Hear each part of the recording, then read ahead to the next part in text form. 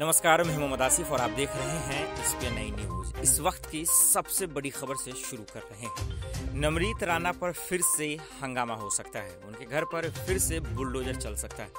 अब आप ये सोच रहे होंगे कि दरअसल पूरा मामला क्या है और क्यों भाई ये सब फिर से हनुमान चालीसा या फिर उनके घर पर बुलडोजर चल सकता है और हनुमान चालीसा को लेकर जो है हंगामा हो सकता है। दरअसल मैं ये इसलिए कह रहा हूँ क्योंकि महाराष्ट्र में हनुमान चालीसा पर जो फिर से बुलडोजर फिर से जो हो सकता है बवाल, वो इसलिए क्योंकि नागपुर में राणा दंपति और एनसीपी जो है वो पाठ करने वाले हैं। और हम सब ये चीज़ बाखूबी तरीके से जान रहे हैं कि किस तरीके से कोर्ट के साथ साथ जो है अब बुलडोजर चलने के लिए किस तरह से उन पर नोटिस दिए गए हैं।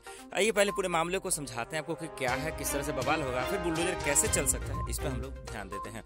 दरअसल महाराष्ट्र के अमरावती से सांसद नमृत राणा और पति रवि राणा आज रामनगर के प्रसिद्ध मंदिर में हनुमान चाली हनुमान चालीसा का पाठ व आरती करेंगे।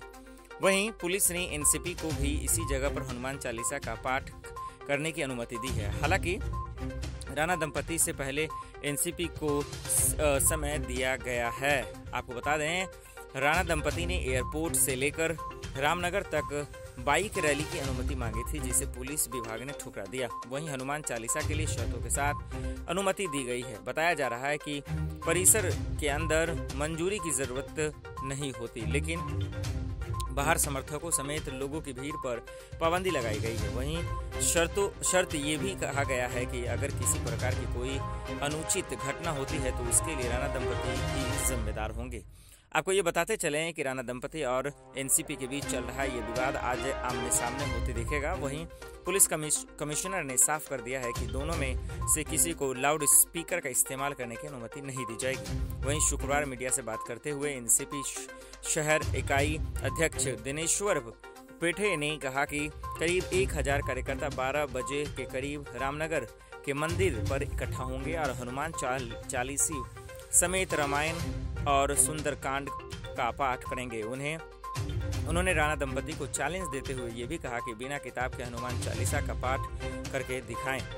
आपको ये बताते चलें कि इससे पहले, पूर्व बीते दिनों राणा दंपति ने दिल्ली के कनाट प्लेस स्थित हनुमान मंदिर में महाआरती की थी। राणा दंपति को इसका बखूबी एहसास था कि दिल्ली में महाराष्ट्र जैसा जोखिम नहीं है, वरना मुंबई में उद्धव ठाकरे को ललकारने के बाद तो उन्हें जेल जाना पड़ा था। जेल से छूटने के बाद नमृत राणा अपने पति के साथ सीधे दिल्ली ही पहुँची और तब से दोनों यहीं डटे हुए हैं। वहीं आज फिर दोनों अमरावती के लिए रवाना हो रहे हैं।